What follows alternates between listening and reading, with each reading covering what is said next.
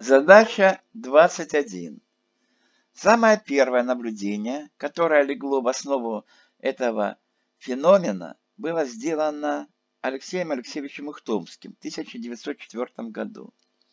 Оно заключалось в том, что на собаке перед подготовлением к дефекации электрическое раздражение коры головного мозга не дает обычных реакций на конечностях, а усиливает возбуждение в аппарате дефекации и содействует наступлению в нем разрешающего акта.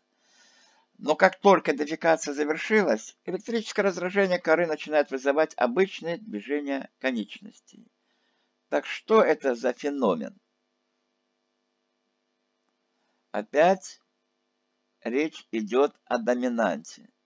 Это явление временного господства определенного возбуждения, либо устойчивый очаг повышенной возбудимости нервных центров, при котором возбуждение, приходящее в центры э, возбуждения, служит усилению возбуждения в очаге, скажем, уже возбужденном, доминирующем, мы можем сказать.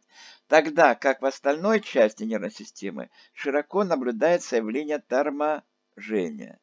В 1923 году князь Алексей Алексеевич Ухтомский публикует работу «Доминанта как рабочий принцип нервных центров».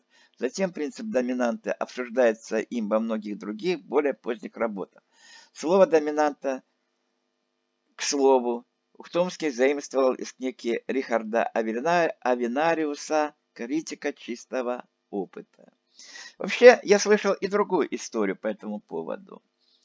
Перед тем, как формировать какие-то рефлексы, условные рефлексы, э, лаборант утречком должен быть выгулять собаку, хорошо выгулять. Э, а лаборант попался ему ленивый.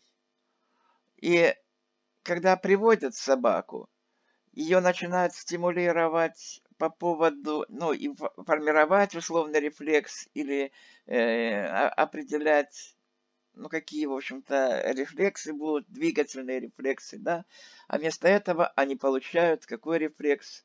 Дефекации при разных раздражителях. Ну и тогда подумали и придумали такой феномен, такое явление изучили, как доминанта.